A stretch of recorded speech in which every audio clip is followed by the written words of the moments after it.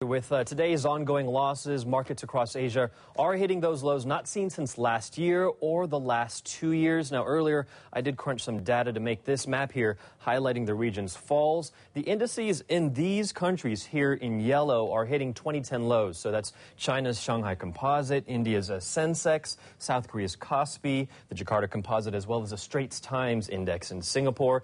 These here in green are even worse off. They've got markets hitting 2009 lows namely Japan's Nikkei, the Hang Seng here in Hong Kong, as well as Australia's ASX. And in hitting these lows, we're also hitting some bear market territory. That, by definition, is a loss of 20% or more. And that's these countries. These countries in red here, pretty much all of them, except for Singapore and Indonesia, are bear markets today. Hong Kong is the biggest decliner since uh, July of 2009. It's down 28%. So, with all that, let's get to the hard numbers right now. First off, the uh, Hang Seng is down about 1.7%. Banks here are leading the way down.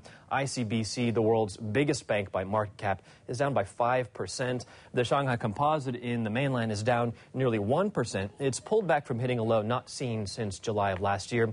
Earlier, it did seem to be on track for its biggest one day fall since early August. Over in Australia, the ASX is down about 1% right now. It did pare some losses from the morning.